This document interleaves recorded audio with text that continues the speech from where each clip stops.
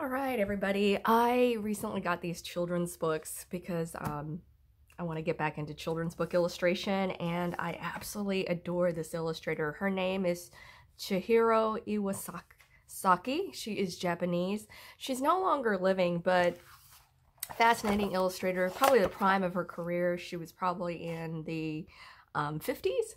And so she um, re-imaged a lot of Hans Christian Andersen um, children's book uh, fairy tales. So um, I have two of her books. This is called The Red Shoes. And then the other one is The Little Mermaid of the colors, the use of watercolors here.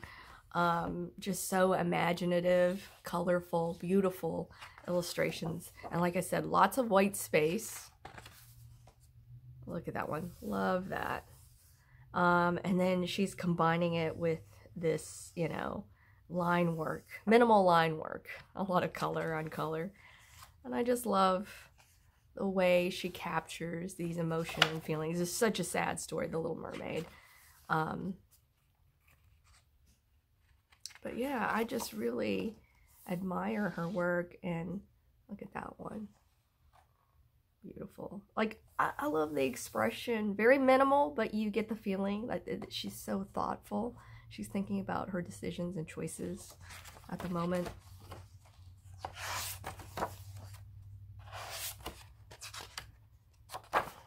Gorgeous.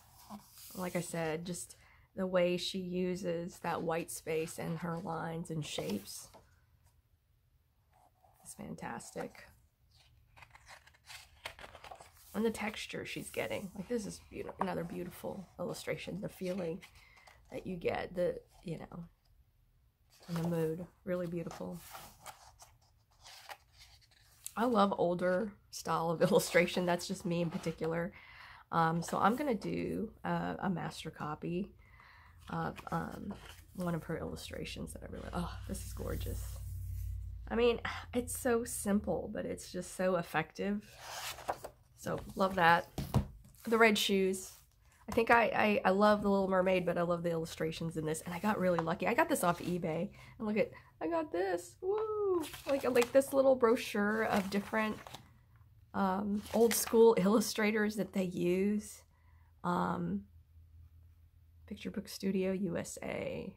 And they've done these books. So it's really cool. So yeah, you do have to do a little bit digging for her books. Um, but you can find some good deals on eBay.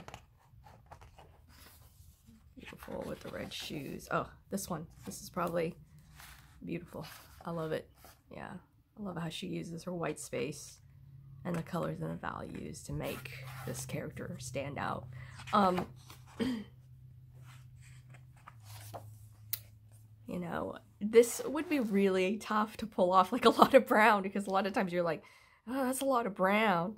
Um, it works. It's beautiful. I love the textures. And, and I think she pulled it off because of the textures.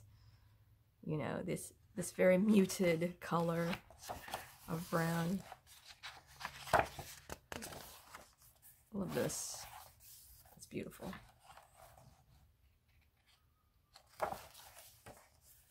You know, and I, I always wonder whenever I look at these children's books, how faithful have they kept, kept to the original color? You know, I was wondering, like, you know, are the colors more bright? Are these, you know, more muted? You know, you never know. But I love the use of texture. I love the white space. This is gorgeous. Another beautiful one. She does these really beautiful forest scenes. And they're so, like, minimal. It's like there isn't, but I go like, oh my gosh, it's so genius. Look at that. And I don't know if it's like that very Japanese sensibility of influence uh, in the work um, because the actual like, you know, like this feels very fluid Japanese style. Like you'd see that in their um, paintings when I've researched stuff. Another one, beautiful, like very muted colors, really hard to pull, off, but she does that because you have this very complex scene right here. You know, it's so intentional. She she chooses these muted colors because she really wants to highlight the red shoes down at the bottom. And I don't know if I can show this. Oops. Let me move that over. Yeah, so the red shoes pop. at the bottom. A lot of white space for her text. But yeah, I mean, this looks like Notre Dame um, Cathedral. But yeah, beautiful. Oh, another beautiful illustration right here. Scale, beautiful use of scale, really nice, large portrait. I love that, you know, she just gets these moments, they're just really like sad. And you're just like, oh, I just feel like a heaviness right here from the look on this girl's face. You know, there's this story is very um, violent. it's kind of story where it's very harsh um, if you really go by the true Hans Christian Andersen story.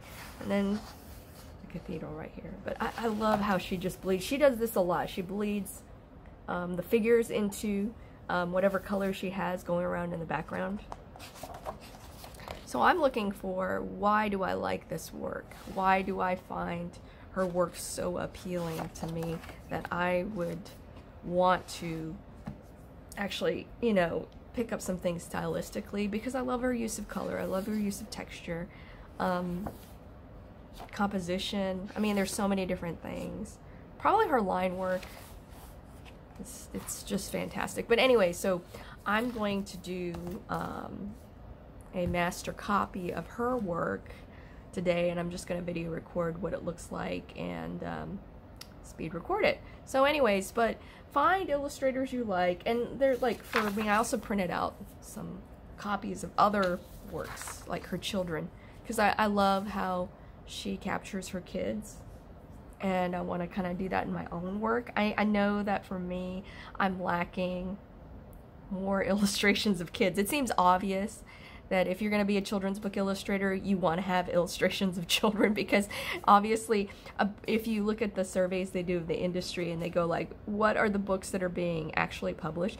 Um, the majority are, of course, um, child-based characters. Right next to that, you get um, animal characters. Then you start getting down into more of the diverse groups. Um, more of the minority groups then follow along. And I'll put a link in the description box because uh, the C, uh, well, it's the Children's Book Council and also uh, Lee and Low Books. They have a survey that they conduct every year and that kind of breaks down and you can see kind of where is the industry, where does it go towards. Um, and then making your portfolio, you know, you want to do stuff that you're interested in as well, but obviously if you're doing the children's book industry, lots of children, lots of people of different ages, um, and then different environments so that you can build a portfolio that a publisher seems like they're going to be like, okay, we we we can trust this person to do a good job for the actual project. And so I really took an objective look at my work and I said, well, what am I really lacking? I'm lacking children. I mean, I'm been focusing on trying to get my technique down, um, and now I'm like, I really want to drive home on how do I want my kids to look and how do I want them to be consistently done. So it's also characterizing these kids, but doing them like the way that Chihiro Iwasaki does. She's very consistent. Like I can tell from this illustration here, from this book, it's all her work. Um, some illustrators do different styles. Like I'm, I interned with an illustrator. He is fantastic and he is able to master lots of styles. But I think for me, you know I, I feel like I really need to hone in on one style and then kind of move around and try to play um, because otherwise I tend to play too much and then I'm never getting focused on being strong at one thing. And it's so easy to get distracted in your illustration styles and say oh I'm gonna try this or I'm gonna try that. So um, I think the reason that they'll tell you in art school they'll be like well focus in on one style and try to master it because you're going to get projects and you're going to have to be pretty quick depending on the type of work. Uh, children's books is much slower. I would primarily get six months to a year um, with a small publisher to turn around the illustrations. And i was working full-time too. So i had a full-time day job other duties and things like that. So just be aware that you know the if you do get one style and technique down, you're able to turn around the work faster. I think that's one of the big things. Um, and also your skill level will jump up a lot higher. So a lot of illustrators in children's books who, um, some of the ones that I really admire, they jump around styles a lot. Um, probably because they probably get bored doing the same style all the time. But if you're just starting out, it may be the best route for you to just really hone down what type of medium do you like to work in and then what kind of style? And i think style while that kind of evolves and that will change over time. Like i've changed techniques. Like it's drastically different than what i started with uh, 10 years ago. So it just keeps changing and changing. And even 20 years ago like what i was doing. So i think everybody's different. You got to figure out what works for you and I don't, and the nice thing is there's no right or wrong. All these illustrators I've talked to and interviewed on my podcast, they have different solutions. Some of them have gone more of the traditional route of like, I'm going to have one style, I'm going to have one technique, and I'm going to run with it. And then I've had um, a few few illustrators, they will jump around more. And it's they've just done so many book projects that they're like, I want to stay fresh, I want to stay new, and they feel like it's based on the actual story. What does the story feel like it needs that that illustrator can bring to the table? Is it a style that they do in acrylics or is it a style that they do in collage? So it's something that um, every illustrator um, tries to figure out and do for themselves. And I think you know in a gut reaction, you kind of feel like this is the direction.